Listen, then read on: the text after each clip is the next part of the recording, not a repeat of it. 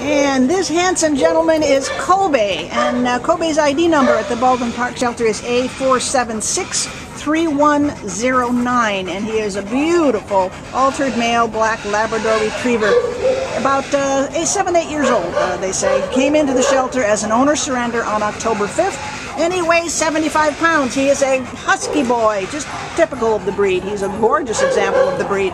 And he was turned in because they said they weren't up for the responsibility of a dog. They only had him for about six months. Um, but they have told us that he gets along with children.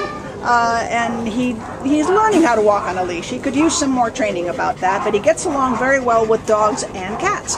Um, he is not house trained, so he must have been uh, uh, kept in the yard which would also explain why he, he alerts a lot. He'll he'll see something and want you to know that he's thinking about you, so he'll bark to let you know that he's seeing something interesting, huh, sweetie?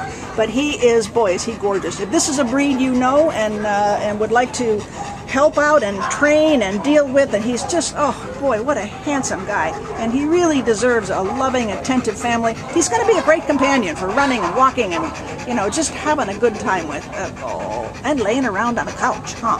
He's a sweetheart. Anything else you can tell us about him, Mark?